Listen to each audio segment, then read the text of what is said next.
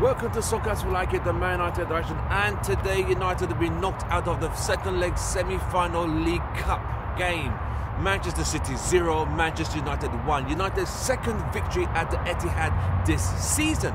A goal by Matic in the first half, but United could not capitalize on that situation. Yes, United had less possession of the ball, but Man City had more possession, but David De Gea was the hero for Manchester United. Martial was quite wasteful, not crossing when he should have crossed, but as a striker, being selfish as strikers normally are.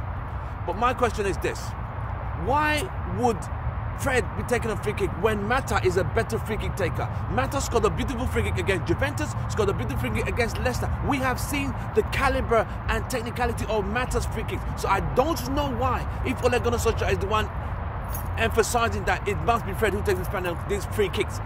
To me, Mata is a better free kick taker. We all know this. So I don't understand why Fred took that penalty, that free kick at that particular moment in time.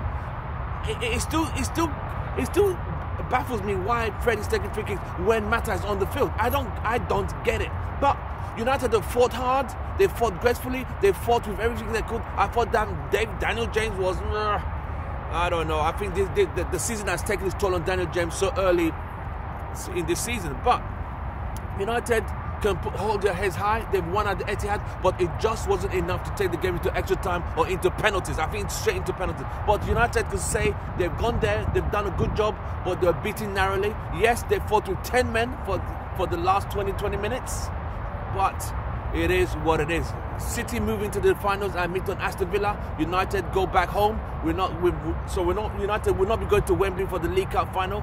So that's the end of our League Cup journey for this season. So we can concentrate now on the Europa League, getting a fourth place, and the FA Cup. Well, if you're watching this channel, don't forget to drop a like, drop a comment, and subscribe to our channel, our channel if you are new. My name is Tim Russell, the host, Soccer As We Like It, the Man United channel. United have just lost place in the final by losing on aggregate three goals to two to Manchester City. From me, it's goodbye and good night. Glory, glory, Manchester United.